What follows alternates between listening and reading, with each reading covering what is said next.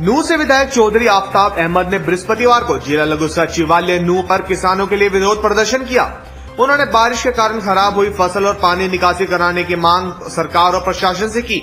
ADC को दिए ज्ञापन में आफ्ताब अहमद ने मांग की है कि ज़िले में हुई बरसात से खेतों में पानी भर गया है और उनसे फ़सलें खराब हो गई हैं। इसलिए पानी निकासी का प्रबंध किया जाए और स्पेशल गिरदावरी कर किसानों को मुआवजा दिया जाए। आज हम ये इस धरना प्रदर्शन के माध्यम से इस गूँगी बहरी सरकार को जगाने का काम करेंगे, क्योंकि ये सर्वविदित है कि आज की चाहे राज्य की सरकार हो, चाहे मोदी की सरकार हो, ये किसान विरोधी। आप देख सकते हो, तीन कृषि के जो काले कानून थे, उनको भी इस सरकार ने सही माना था और किसानों ने 700 किसानों ने जब अपनी कुर्बानी आहुति दे दी उस संघर्ष में, जब जाके इस सरकार की नींद खुली थी और इन्होंने मजबूर होके उस काले कानून को वापस लिया। यमुनानगर के सिविल अस्पताल में आज फादर ऑफ़ सर्जरी महर्षि सुश्रुत की मूर्ति का अनावरण किया गया। मूर्ति का अनावरण कर विधायक घनश्याम दास अरोड़ा ने कहा कि ये बहुत ही अच्छी बात है कि जिन्हें फादर ऑफ़ सर्जरी कहा जाता है, महर्षि ने सर्जरी का प्रचलन शुरू किया था। उन्होंने बताया कि उन्हीं की बदौलत आधुनिक युग में सर्जरी के द्वारा अनेक रोगों का निदान किया जाता है। इसको लेकर। हाँ आज महर्षि शिशु जी महाराज जो सर्जरी के, जिन्होंने सर्जरी का प्रचलन किया सर्जरी का व्यक्ति के जीवन में क्या महत्व है? किस प्रकार सर्जरी के द्वारा अनेक रोगों का निदान किया जा सकता है? ये उन्होंने स्थापित किया और सर्जिकल ऑपरेशंस शुरू करके लोगों का स्वास्थ्य कैसे ठीक रह सकता है? इसके बारे में उन्होंने जानकारी दी।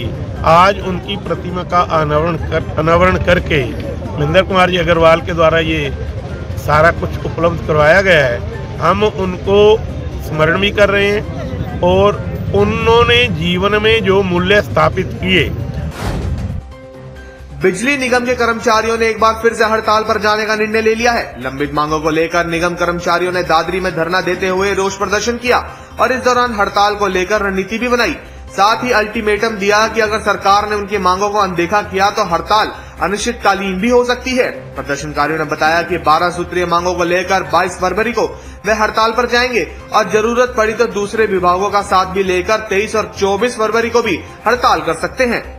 आज का हमारा चौदह घंटे का प्रोग्राम है। बिजली बोर्ड प्रांगण में हम शुरुआत कर रहे हैं। दो दो घंटे का सब डिवीज़न स्तर से लेकर आगे आने वाले प्रोग्राम में डिवीज़न स्तर पर रहेगा, फिर मुख्यालय में रहेगा, इसी तरह ही आगे चलता रहेगा। और अगर हमारी मांगे नहीं मानी जाती हैं और हमारे केंद्रीय परिषद का जो भी हमारे लिए आदेश होगा, हम उस पर फूल चढ़ाएँगे और सरकार का विरोध करेंगे। सरकार हर बार हमें गुमराह करती जा रही है। हमारी आज तक कोई मांग धरातल पर लागू नहीं हुई है केवल आश्वासन आश्वासन और आश्वासन। लाला लाजपत राय की जयंती पर आयोजित कार्यक्रम के दौरान भाजपा की पूर्व मंत्री कविता जैन ने कांग्रेस को कटघरे में खड़ा कर दिया और उन्होंने कहा कि कांग्रेस ने देश की आज़ादी में शहीद हुए लाखों लोगों के इतिहास को छुपाने का काम किया है। वहीं कविता जैन ने शिक्षा के मामले में हरियाणा सरकार द्वारा किए जा रहे कार्यो की सराहना की। कविता जैन ने कहा की लाला लाजपत राय ने देश की आज़ादी के लिए अपना बलिदान दे दिया था। यही नहीं, देश की आज़ादी के लिए लाखों लोग शहीद हुए, लेकिन कांग्रेस पार्टी ने उनकी शहादत को छुपाने का प्रयास किया है। हम आज़ादी का अमृत महोत्सव मना रहे हैं। और इन पिछहत्तर सालों में जहाँ आज हम भारत माता की जय के नारे खुलेआम लगाते हैं, एक समय ऐसा था कि अगर हम भारत माता की जय के नारे लगाते थे तो हमें यातनाएँ सहन करनी पड़ती थी। आज आज़ादी का अमृत महोत्सव खाली रोहतक में नहीं, हरियाणा में नहीं, पूरे हिंदुस्तान के अंदर मनाया जा रहा है।